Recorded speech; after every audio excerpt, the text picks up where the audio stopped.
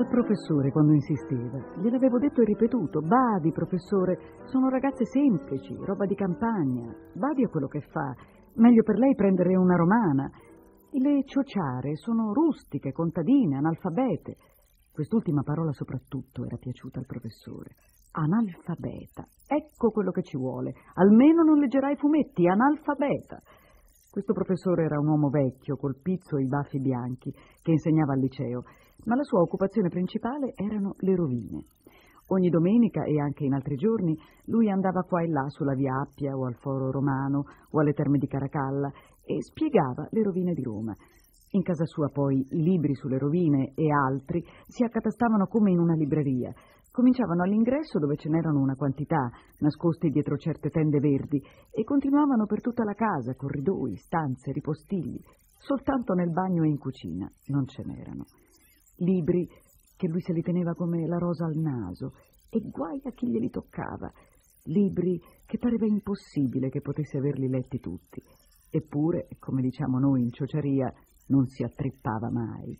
E quando non insegnava o dava lezioni in casa o spiegava le rovine, se ne andava ai mercatini di libri usati a frugare per i carrettini e poi rincasava sempre con un pacco di libri sotto il braccio. Faceva collezione, insomma, come i ragazzini fanno collezione di francobolli, perché poi si fosse impegnato a volere per cameriera una ragazza del mio paese, per me era un mistero. Diceva che erano più oneste e non avevano grilli per la testa. Diceva che a lui le contadine gli mettevano allegria con quelle belle guance di mele rosse. Diceva che cucinavano bene. Insomma, siccome non passava giorno che non si affacciasse in portineria, sempre insistendo con la ragazza ciociara e analfabeta, scrissi al paese, al comparetto, e lui mi rispose che ci aveva appunto quello che ci voleva, una ragazza delle parti di Valle Corsa che si chiamava Tuda, che non aveva compiuto ancora vent'anni. Tuda arrivò una sera a Roma insieme con il comparetto e io andai a prenderla alla stazione.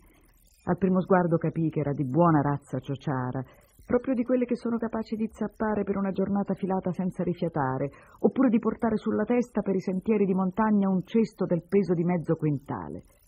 Ci aveva le guance rosse che piacevano al professore, la treccia arrotolata intorno alla testa, le sopracciglia nere unite che le sbarravano la fronte, il viso tondo e quando rideva mostrava i dentini bianchi stretti stretti che le donne in cioceria si puliscono strofinandoci una foglia di malva. Portava sotto il braccio un panierino e mi disse che era per me, una dozzina di uova di giornata nella paglia ricoperte di foglie di fico. E le dissi che era meglio che le desse al professore per fare buona impressione. Ma lei rispose che non aveva pensato al professore, perché trattandosi di un signore ci doveva di certo avere il pollaio in casa. Mi misi a ridere e così, da una domanda all'altra, mentre in tram andavamo verso casa, capii che era proprio una selvaggia. Non aveva mai visto un treno, un tram, una casa di sei piani. Insomma, analfabeta, come voleva il professore. Arrivammo a casa e io prima la portai in portineria per presentarla a mia moglie e poi su con l'ascensore all'appartamento del professore. Venne lui ad aprire perché non aveva servitù ed era mia moglie che di solito gli faceva le pulizie e quel po' di cucina. Tuda, come entrammo, gli mise il panierino in mano dicendo «Ti è, professore, prendi, t'ho portato l'ova fresche». Io le dissi «Non si dà del tu al professore». Ma il professore invece l'incoraggiò dicendo «Dammi pure del tu, figliola». E mi spiegò che quel tu lì era il tu romano, degli antichi romani, che anche loro, come i ciociari, non conoscevano il lei e trattavano la gente alla buona, come se fosse stata tutta una famiglia.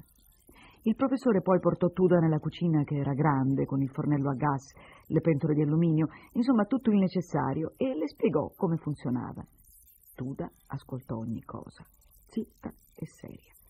Finalmente, con quella sua voce sonora, disse «Ma io non so cucinare».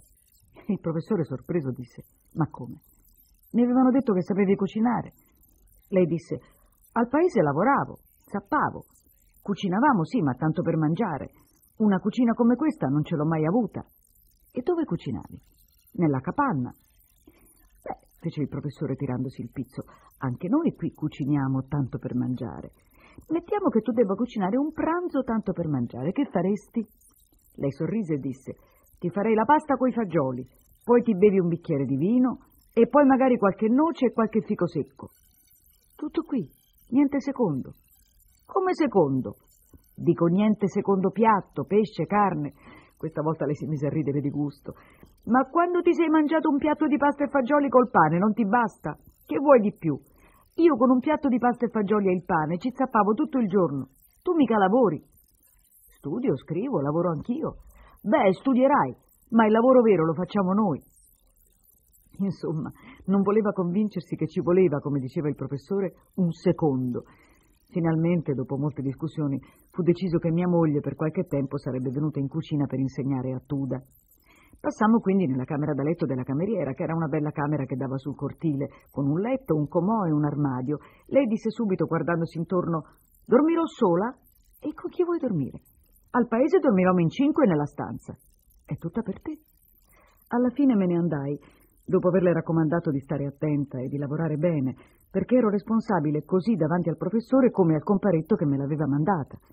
Uscendo udì il professore che le spiegava Guarda che tutti questi libri devi spolverarmeli ogni giorno con il piumino e lo straccio.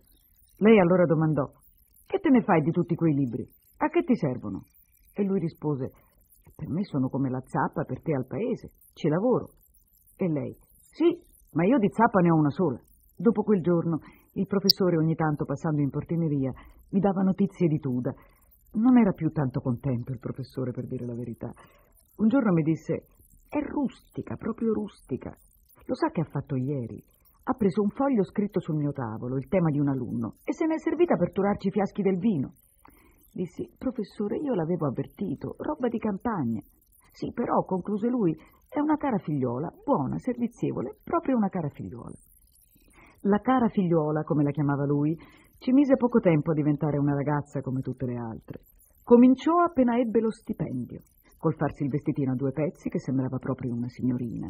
Poi si comprò le scarpette con il tacco alto, poi la borsetta di finto coccodrillo, si fece anche tagliare la treccia, un vero peccato. La prima volta che la vidi con quel disgraziato di Mario, l'autista della signora del terzo piano, le dissi «Guarda che quello non fa per te, le cose che dice a te le dice a tutte». Lei rispose «Ieri mi ha portato in macchina a Monte Mario». Beh, e allora? È bello andare in macchina.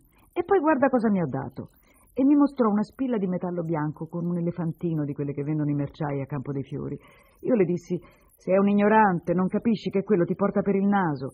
Intanto non dovrebbe andare in macchina per conto suo con te. Se la signora lo viene a sapere, sente lui. E poi sta attenta. Te lo dico ancora una volta. Sta attenta. Ma lei sorrise. E poi continuò a uscire con Mario. Passarono un paio di settimane. Il professore un giorno si affacciò in portineria, mi chiamò da parte e mi domandò abbassando la voce, senta un po', Giovanni, quella ragazza è onesta? Dissi, questo sì, professore, ignorante, ma onesta. Sarà, fece lui poco persuaso, ma mi sono scomparsi cinque libri di valore. Non vorrei... Protestai ancora una volta che non poteva essere stata Tuda e che lui i libri li avrebbe ritrovati di certo, ma rimasi impensierito, lo confesso e decisi di tenere gli occhi bene aperti. Una sera, qualche giorno dopo, vedo Tuda entrare nell'ascensore insieme con Mario. Lui disse che doveva andare al terzo piano per prendere ordini dalla signora, che era una bugia, perché la signora era uscita da più di un'ora e lui lo sapeva. Li lasciai andare su e poi presi l'ascensore, salii e andai dritto all'appartamento del professore. Per una combinazione avevano lasciato la porta socchiusa. Entrai, passai per il corridoio, sentii che loro due parlavano nello studio e capii che non mi ero sbagliato. Pian piano mi affacciai alla porta e cosa vidi? Mario, salito in piedi su una seggiola, che spenzolava contro la libreria, tendendo la mano verso una fila di libri che stava sotto il soffitto, e lei, la santarella dalle guance rosse, che gli reggeva la seggiola e diceva «Quello lassù, quello bello grosso, quello bello grosso rilegato in pelle!» Dissi allora uscendo fuori. Ma brava, ma bravi, vi ho presi, bravi. E il professore che me l'aveva detto e io che non ci credevo, bravissimi. Avete mai visto un gatto se gli tirate una secchiata d'acqua dalla finestra? Così lui, a sentir la mia voce, salto giù e scappo via, lasciandomi solo con Tuda. Io allora gliene dissi tante, tante, che un'altra perlomeno sarebbe scoppiata in pianto. Ma sì, con le ciociare, è un'altra cosa. Mi ascoltò a testa bassa, senza parlare. Poi levò gli occhi, asciutti, e disse, e chi gli ha rubato? I soldi che mi avanzano dalla spesa glieli riporto sempre tutti quanti. Mica faccio come certe cuoche che fanno pagare ogni cosa il doppio. Disgraziata, e tu non rubi i libri, e questo non si chiama rubare. Ma ne ha tanti lui di libri. Tanti o pochi, tu non devi toccarli. E sta attenta che se ti ripiglio te ne torni al paese dritta come un fuso. Lì per lì Testona non volle darmi ragione né ammettere neppure un momento solo di aver rubato. Ma qualche giorno dopo eccola che entra in portineria con un pacco sotto il braccio. Eccoli i libri del professore. Moglie li riporto e così non potrà più lagnarsi. Le dissi che aveva fatto bene e pensai dentro di me che dopo tutto era una buona ragazza e che la colpa era tutta di Mario. L'accompagnai in ascensore e poi entrai con lei in casa per aiutarla a rimettere a posto i libri.